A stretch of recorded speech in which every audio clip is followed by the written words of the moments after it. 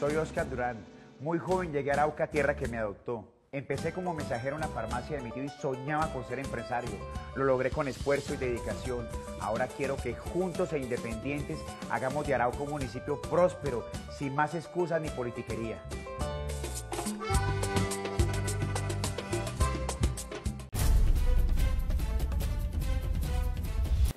Familias se encadenaron en la EPS Medimás porque no le han autorizado algunas remisiones y los medicamentos a sus familiares.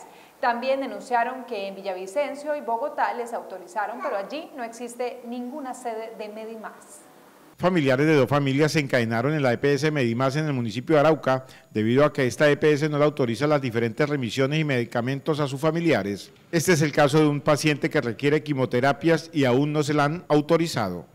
Pues tomé la decisión de encadenarme, ¿por qué? Porque mi esposo tiene un cáncer de próstata y le han mandado medicamentos, la empresa nunca le ha cumplido.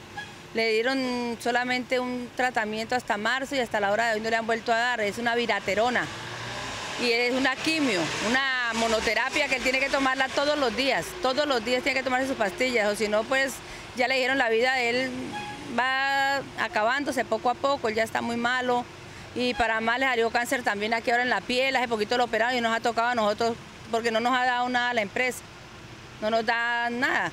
Y, en Medimás no, que el medicamento está en estudio, que está en estudio, que ya sí, que ya no, una tomadera de pelo y no, no, no me solucionan absolutamente nada. Para Adriana Cortés, hija de un paciente con cáncer de próstata, aseguró que en Villavicencio la EPS y Medimás le autorizó unos medicamentos, pero la droguería que le autorizaron no existe. Yo me encontraba en la ciudad de Villavicencio, nos mandaron supuestamente que estaban los medicamentos en la farmacia de Discofarma. Eh, yo fui al barrio Barzal, realmente lo que había era una hoja de blot marcada Discofarma, fui, esa, esa droguería no estaba en funcionamiento, eh, me pidieron a mí los documentos, más a mí yo le dije, por favor, déjenme un recibido algo, no dejaron recibido. Ellos eh, dejaron el recibido para ellos, muchas personas estaban pidiendo por los medicamentos.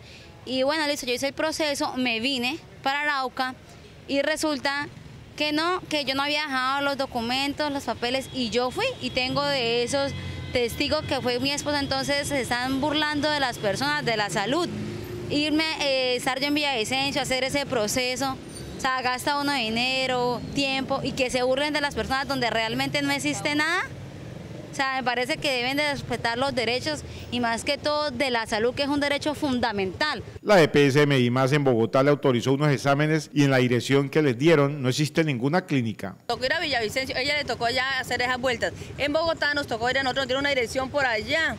Bueno, fuimos sin conocer, sin plata. Usted sabe que estas lo, lo, vuelven a uno nada, esta enfermedad a nivel económico. Fuimos y dimos con la casa y era una, una, vivienda común y corriente, un apartamento. No, aquí no queda nada, una tomadera de pelo. Entonces se burlan de la salud, se burlan de uno y uno está exigiendo. También don Orlando Nontoa se encadenó porque aún la EPS Medimás no le ha enviado la documentación a la Junta Regional de Calificaciones y ha sido imposible. Eh, me decidí encadenarme porque resulta que llevo tres años pidiéndole a Medimás que me envíe la documentación a la Junta Regional de Calificaciones. Eh, es una tomadera de pelo, eh, ni con tutela, desacatos. me ha amarrado aquí ya como un promedio unas seis veces, ni por eso ha sido, ha sido posible que me envíen la documentación y cuando la envían, la envían incompleta. Es una mamadera de gallo por completo de ellos.